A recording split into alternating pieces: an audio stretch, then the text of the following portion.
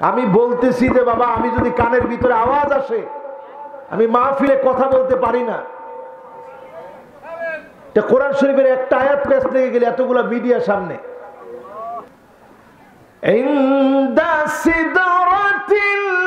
মুন্তারা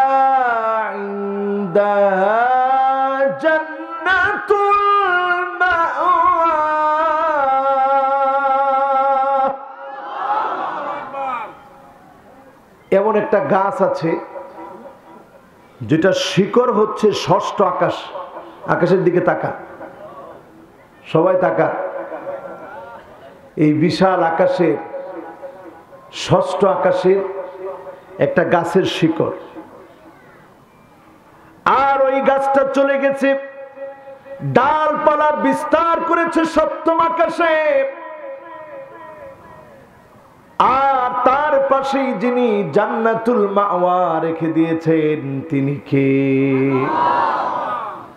যে আল্লাহ আমাদের জন্য বিশাল নিয়ামতে ভরা জান্নাত রেখেছেন وسيق الذين اتقوا ربهم إلى الجنة زمرا দলে দলে, কাতারে কাতারে যিনি জান্নাতের দিকে আমাদেরকে অভ্যর্থনা দি সমবর্ধন দি সম্বর্ধনা দি অভ্যর্থনা দি সম্বর্ধনা দিয়ে অভ্যর্থনা দিয়ে যিনি সেদিন আমাদেরকে সম্মানিত করবেন, তিনি কে?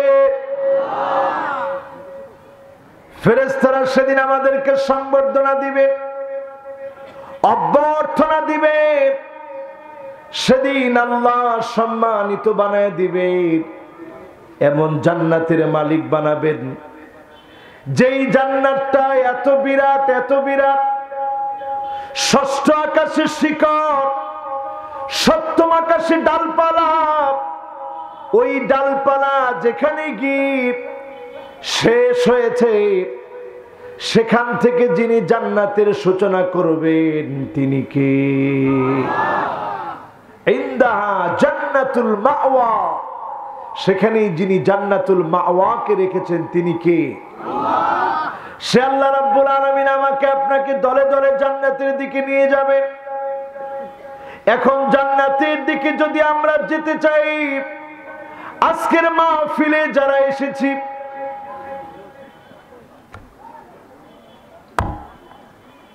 এই মাহফিলটা মনে হয় আর দশ পনেরো মিনিটের বেশি এমনও কথা বলতে পারব না।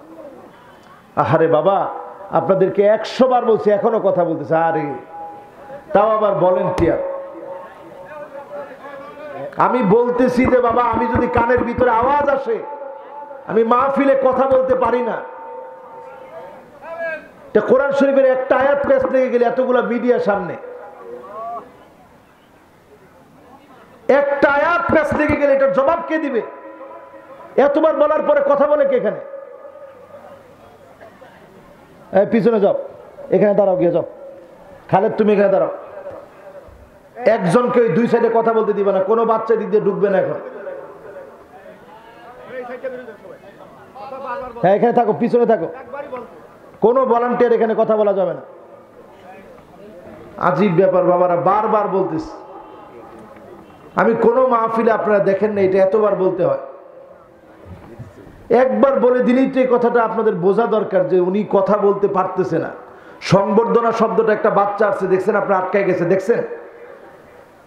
এটা কেমন করে বুঝাবো বলে জুবা দিল সে নিকালতা, ও বা দিল পর আসর করতা। যেটা দিল থেকে বলা হয়, ওটা দিলে আসর করে।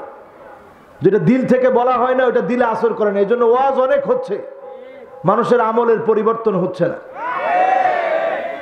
এজন্য চাই কথাগুলোর ভিতরে যেন অন্তত একটু নূর আল্লাহ দান করে। এই নূরের জন্য চেষ্টা করতে হবে। চেষ্টাটা তো আমারও থাকতে হবে, আপনাদের থাকতে হবে, নাহলে কেমন করে আমি বোঝাবো বলেন? এই যে আমার অনেক মা বোনরা আসছে দূরদারাজ থেকে। তারা চিন্তা করবে, হুজুরের ওয়াজ শুনতে আসলাম, একটু পরে পরে ওয়াজটা বন্ধ হয়ে যাচ্ছে। মনের মধ্যে কষ্ট পাবে। এই জন্য আর এখন আধা ঘণ্টার সময় আমরা টোটাল আল্লাহর জন্য দিয়ে দিব, পরের ইনশাআল্লাহ। একটা সেকেন্ডের জন্য কোনো ভলান্টিয়ার আমার ডান দিকে এবং বাম দিকে। মেহরবানি করে একটা আওয়াজও করা দরকার নেই। যদি কথা বলতে দরকার হয়, পিছনে গিয়ে, দূরে গিয়ে কথা বলবে আমি যখন স্টেজ থেকে নামি, এরপরে যদি আপনারা ঘণ্টা সময় নিয়ে আমার সাথে কথা বলেন, আমি কোথাও আপত্তি করি না। এমনকি আমি আসছি, এখানে অনেক মেহমান সাক্ষী আছেন। পিছনে একজন মাফলার পরে আছেন, আমি এখান থেকে ওনারে দেখতেছি। উনি আমার সাথে দেখা করছেন, কথা বলছেন, লম্বা সময়, যতক্ষণ ইচ্ছা বসা ছিলেন, আমি একবারের জন্য না করিনি। এমনকি অনেক মেহমান বিভিন্ন মাহফিল থেকে আসছেন, গিয়ে দেখা করছেন। আমি কিন্তু বলি নাই যে, ভাইজান, আপনারা একটু তাড়াতাড়ি করেন, আমার রেডি হতে হবে। আমি এই কথাটুকুনও বলিনি। কিন্তু এখন যখন আমি মাহফিলের স্টেজে বসে গেছি, এখন আমার হক হচ্ছে আপনাদেরকে কথাগুলো শোনানো। কিন্তু সেই শোনানোর পরিবেশটা না পেলে আমি ব্যর্থ হয়ে যাব। এই জন্য আপনারা ইনশাল্লাহ মনোযোগের সাথে শুনবেন। রাজি আছেন ইনশাল্লাহ চিল্লা একটা আওয়াজ দেন তো বলেন তো, আল্লাহ আকবর। আকাশ বাতাস প্রকম্পিত করে আরেকটা বার বলেন, আল্লাহ আকবার। আজকে চিন্তা করে দেখেন আমার মায়েরা হৃদয়গুলো মরে যাচ্ছে। হৃদয়গুলো মরে যাচ্ছে কোরআনের কথা শোনার পরেও, হাদিসের কথা শোনার পরেও। মনটা বিগলিত হয় না, আল্লাহর কথা শোনার পরেও মনটা কাঁদে না। এমন মানুষ আমরা হয়ে যাচ্ছি, পাথরের চাইতে শক্ত হয়ে যাচ্ছে হৃদয়। এমন শক্ত হয়ে যাচ্ছে,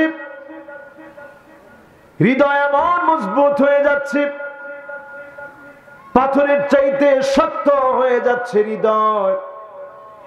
মানুষ হয়েছি, হৃদয় মরা মানুষ। এই হৃদয় মরে যাওয়ার কারণে দোয়া করলে দোয়া কবুল হয় না। এক নম্বরে যেই কারণে হৃদয়গুলো মরে যাচ্ছে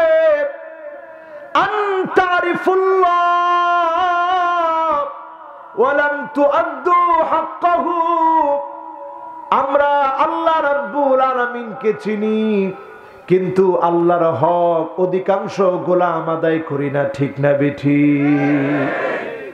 আমরা আল্লাহকে চিনি যখন করোনা এসেছি।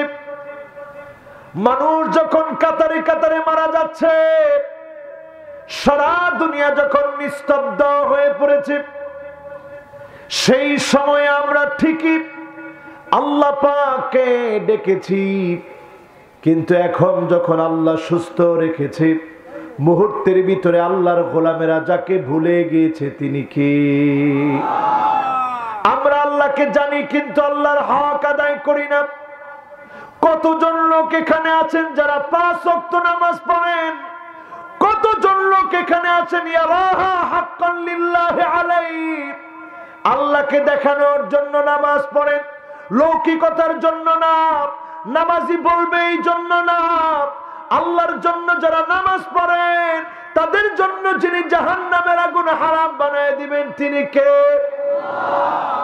এখন কয়জন এরকম নামাজ পড়ি? আমরা এইরকম নামাজিরও পাই। নামাজ পড়লে আর না পড়লে কি? তাহাজ্যতের কথা বলতেও ওই মুসল্লি ভয় পায় না এবং এক মিনিটের জন্য থামে না এমন মুসল্লি আসে না নাই? তাহাজ্যত পড়ে। ওনার নামাজের খবর গিয়ে দেখেন নামাজ কেমন করে তিনি পড়েন। আল্লাহর জন্য নামাজ পড়ে কিনা আল্লাহকে আমরা চিনি, আল্লাহর হক আমরা আদায় করি না। দুই নম্বরে মন মরে যাচ্ছে।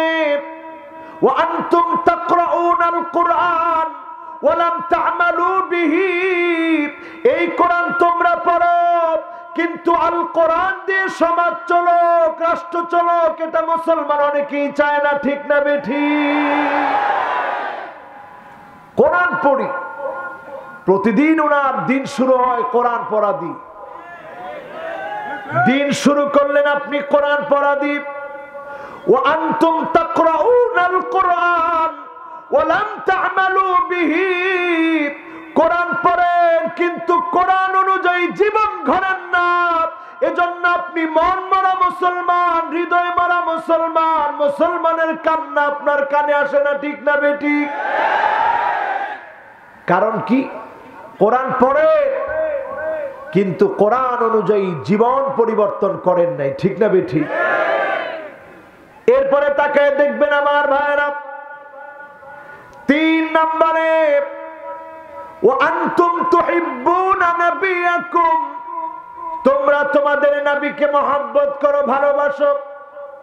ওয়াতারাকতুম সুন্নাতাহু।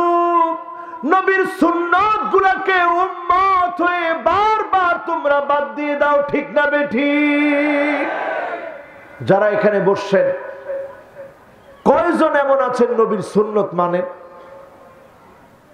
আমরা এমন একটা নিউজ আমি ফেসবুকে দেখে হতবাক হয়েছি। সন্তান বাবাকে শিকল দিয়ে বেঁধেছে, উলঙ্গ করে বাবাকে রাস্তার মধ্যে ফেলে দিয়ে গিয়েছে। ফেসবুকে পোস্ট করা হয়েছে, এই বাবার পরিচয় যদি কেউ জানেন, বাবার পরিচয়টা দেন। একটা বার চিন্তা করেন, বাপ আপনার জন্য কি না করেছে? যেদিন মিশর থেকে আসলাম, আব্বা আমাকে যখন জড়িয়ে ধরেছে, আর আব্বা সারে না। আমার সেই দিন মনে হয়েছে, এই না হলে কি আর বাপ? কলিজার মধ্যে যখন জায়গা দিয়েছে, আর বাপ ছাড়তেছে না। আমার মনে হয়ে গিয়েছে নবী ইউসুফ আলাইসালামের ঘটনা।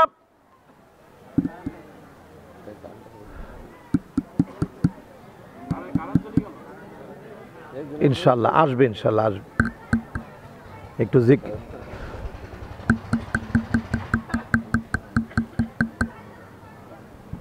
চলে আসবে, ইনশাল্লাহ। আল্লাহ আকবার বলেন। মাশাল্লাহ দেখছেন আল্লাহ আকবার বলতেই আল্লাহ কারেন্টের ব্যবস্থা করে দিছে। আল্লাহ আকবার। এতক্ষণ আমরা চুপ ছিলাম, যখন আল্লাহ আকবার বলছি, আল্লাহ সুন্দর একটা সাউন্ডের ব্যবস্থা করে দিচ্ছে আলহামদুলিল্লাহ বলে এখন ঠিক আছে?